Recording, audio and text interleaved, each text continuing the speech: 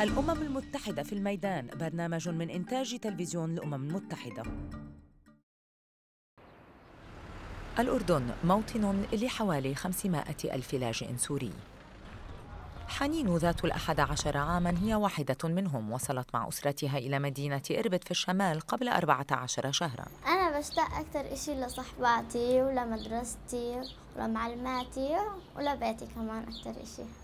أنا بتمنى إنه لما نرجع على سوريا في المستقبل أرجع على أصحابي وعلى مدرستي وعلى بيتي.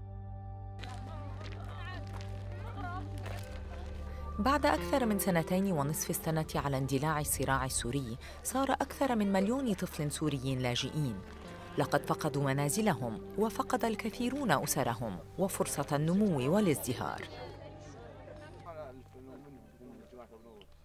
ولضمان حصول أطفال مثل حنين على التعليم ونفس الفرص المتاحة للآخرين تقوم وزارة التعليم بدعم من اليونيسف بتوفير التعليم المجاني.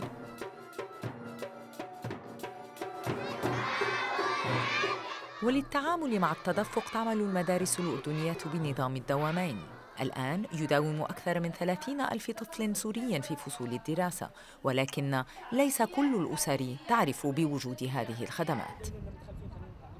لذلك تدور شبكة متطوعين أقامتها منظمة أنقذ الأطفال في الأردن بالتعاون مع اليونيسف على المجتمعات المحلية لتسجيل الأطفال في المدارس متطوعة التوعية روينا المساعيد.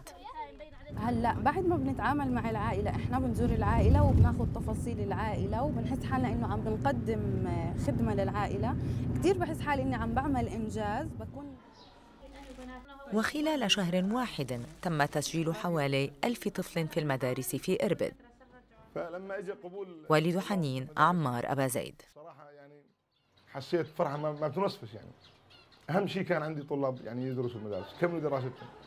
لأنه كانوا مقطوعين قلت لك يعني إنه كانوا مقطوعين سنة وأحيانا سنة ونص. فإذا انقطعوا كمان سنة وسنة الجيل أصبح أمي.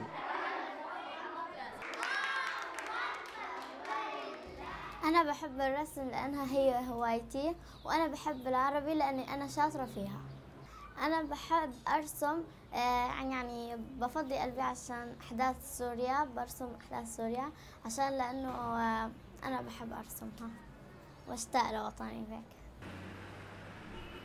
في المجتمعات الحضرية في الأردن ما زال العديد من الأطفال السوريين يبحثون عن فرصة للعودة إلى المدرسة.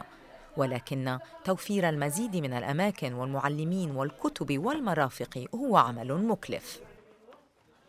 نائب ممثل اليونيسف في الأردن ميكايل سيرفادي.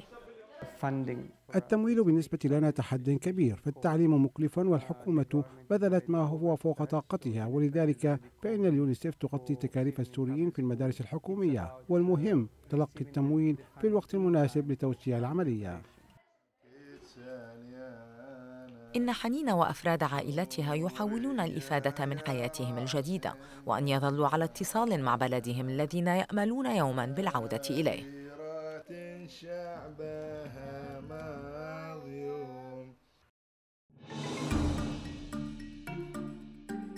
أعد توني فريكر هذا التقرير للأمم المتحدة.